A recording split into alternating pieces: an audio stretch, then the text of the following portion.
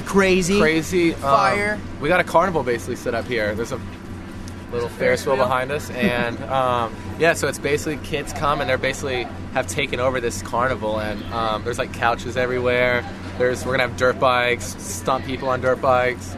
It's basically just like kids going crazy and us performing at the carnival. So it's gonna be very interesting. I think me and Mason's family are gonna come out. Mason's brother Mitchell's gonna be out. My sister Miley, my dad's gonna come out and hopefully make a little cameo. So watch out for them in the final video. We we aren't that involved in the planning. We just kind of get the ideas and Yeah. you Yeah. know, or we come up. Mason kind of Yeah, came up with Mason did kind of. We've on the past tour, we've been watching this movie Lost Boys like religiously nonstop, and it was kind of like, well, let's kind of rip this idea off for the 17 Forever video, and that's kind of the whole idea for the style and for the carnival idea that we kind of took it from, because they filmed it on like the uh, Santa Cruz Pier, and it was at a carnival there, and we just kind of stole the idea and brought it to like our home. So Like just a crazy carnival where kids take it over and it's just like uh, do whatever you want. Yeah.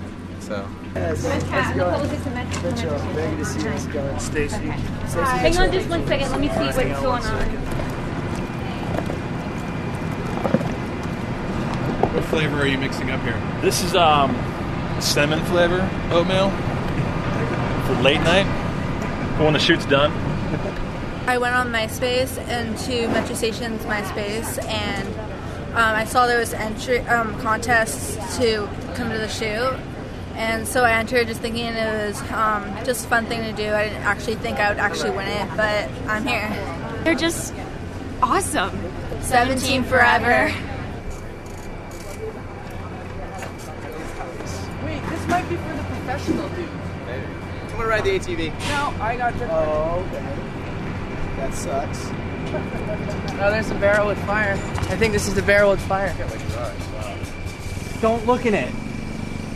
Dangerous. How much power? How much power do you guys are you guys gonna have? As Um, much as we can squeeze out. Yeah, I don't know if anything's know. gonna blow up or anything, but uh, I think we'll have just fire in the in these barrels.